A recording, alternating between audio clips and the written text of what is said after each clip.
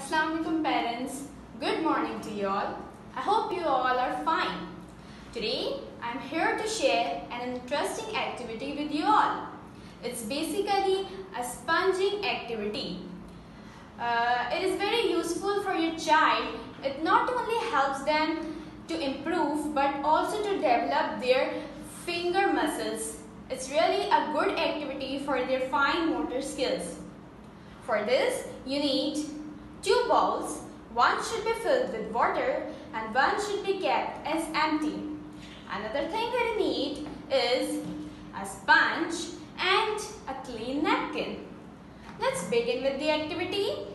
First, take your sponge, then dip it into the water like this. Dip, dip and dip. Now lift it up and squeeze it into the empty bowl like this. Let's do it again. Drop it into the water like this. Then lift it up and squeeze like this. Now, clean your hands with the help of this napkin. I hope you guys enjoyed this activity. Please repeat this activity with your child at home. They will really enjoy it. Thank you.